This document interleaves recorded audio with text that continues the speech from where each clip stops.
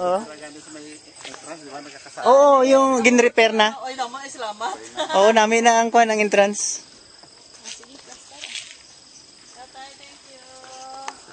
Oh, ay, oh, ay. Naka-ready na yan. Hello. This is our trip today. March, uh, April 21, 2012. Down here, Bunay Tupi at the residence and property of Mr. Alexander Robles. And here is the man, the, the main character. That's the the important character. Councilor Alexander Robles. And those are my companions. He- Yes. Nga, baby. Dito na sa dalom na ka. Ay, good eye. Kaya, kaya Hello, dito. Ma, Hello. madunot ay ban. Hello. Rambutan. No.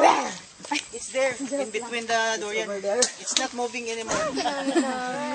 It's okay. It's over there. Ano Thank you, thank you.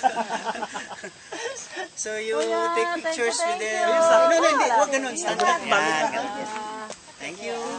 Okay. Oh, close it first, you know. I forgot to close it. Oh my goodness, I forgot to close it. kulang pa yan. Sige lang na. Alright. Sunod naman. YouTube na naman. You, oh.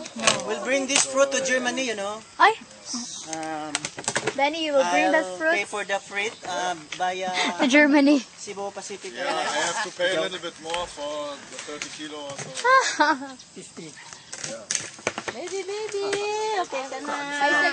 Okay ka na? Memorize mo na to? Baby shark? Memorize mo? Ha? Tala yun yun. Tala yun.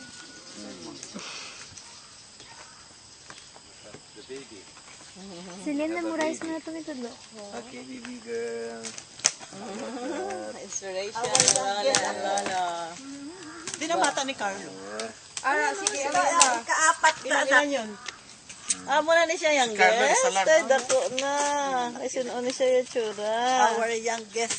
Youngest baby. Alagi, anan sila, buro mabayi. Isa lang laki. Dalawa. Dalawa ang boys. Two, three sila. Tala na mga apo. Dua ka boys, three girls. Biglang dumami ang pamilya ni Kuya. Si Alexa, no? Kadasik siya mo memorize. Sped, sped. Ang galing na magbasa mo. Main karakter.